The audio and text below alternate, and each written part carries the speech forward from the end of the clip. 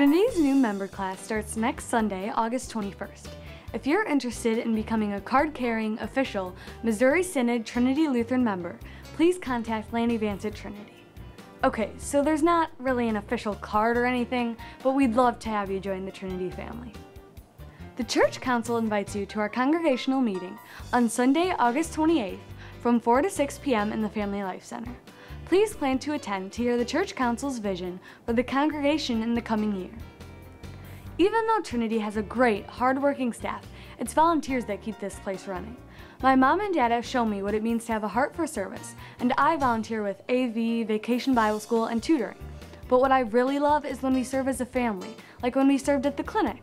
Some of the ways family can volunteer are with coffee hour, hospitality desk, altar guild, in the nursery, or as ushers and greeters. Look for the display in the lobby and talk to Lanny or Rajin to see how your family can serve. While we have lots of volunteer opportunities at Trinity, the need for volunteers doesn't end when you leave church property. Here is Pastor Tom Gibbons of St. Paul Austin to tell us how we can help his congregation.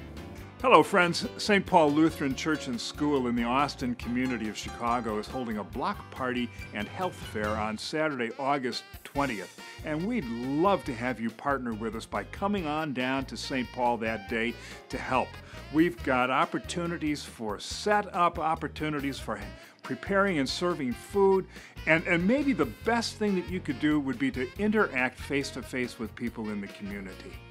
For more information on how you can serve, please see Janine Kelly.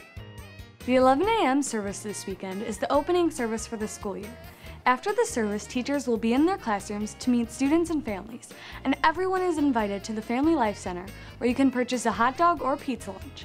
There will be face painting and a bounce house and information pertaining to school families. Hope to see you there! This summer, several of our teachers have moved to new opportunities, continuing their teaching ministry at other schools. Today, I'm happy to introduce two new teachers to the Trinity faculty, Mary Andrzejczak and Sydni Schmelter. Miss Andrzejczak, which grade are you teaching this year? I will be teaching third grade. Why did you decide to become a teacher? You know, I've had so many awesome teachers growing up that impacted my life, and I just want to share my love of learning with my students as well. Miss Schmelter, what classes are you teaching this year? So this year I will be teaching geometry for eighth grade, also um, fifth through eighth social studies and language arts. What are you looking forward to in your first year at Trinity? You know, everybody here has just been so sweet at Trinity, and you know, I'm just ready to grow with everybody and get to know all my students. Now it's time for our lightning round, where I'll ask a few questions so we can get to know you guys better. What's your favorite animal? Dolphins. Pandas. Favorite movie? Finding Dory. Um, the Harry Potter series. Favorite sport and team? Chicago Cubs baseball. Chicago Bulls. Favorite eighth grader at Trinity? Well, they would have to be you, Gabby. She's the only one she knows, so.